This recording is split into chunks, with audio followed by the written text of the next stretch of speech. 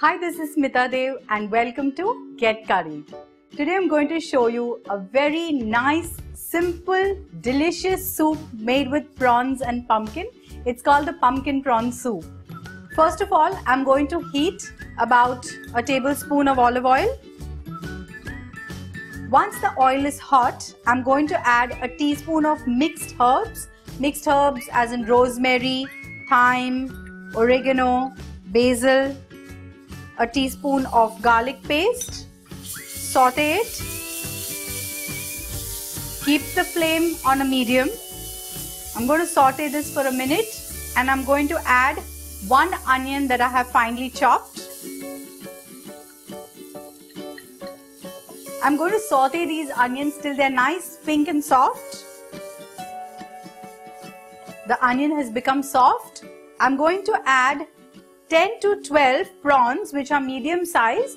I have deveined them and I'm going to add this to the onions and just cook them. The prawns will take 4 to 5 minutes to cook.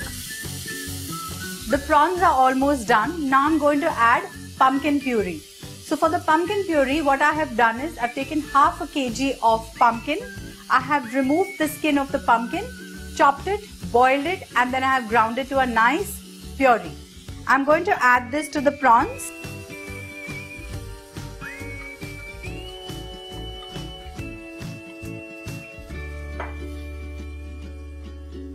I'm going to mix this well. I'm going to add some water, maybe a cup of water because I don't want the soup to be thick. I'm going to mix this well and now I'm going to add my salt and pepper.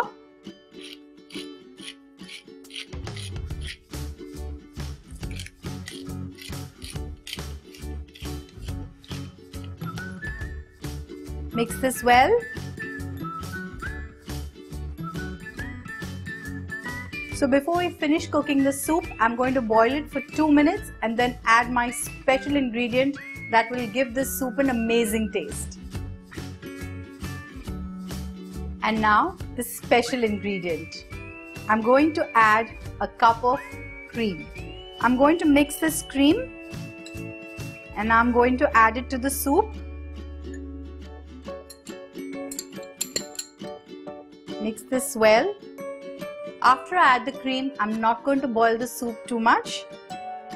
So you add the cream, shut the flame after a minute and then your soup is ready to be served. So our soup is ready. I'm going to now put it in a soup bowl.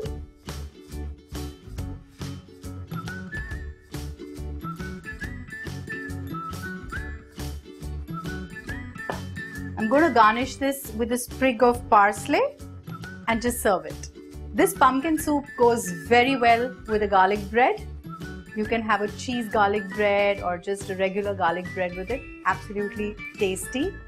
Kids usually love prawns. So you add prawns with anything healthy like the pumpkin and make a pumpkin soup out of it. Your kids are happy and you are satisfied that the kids are eating something nutritious. So do try this recipe and let me know. For such innovative recipes, subscribe to Get Curried.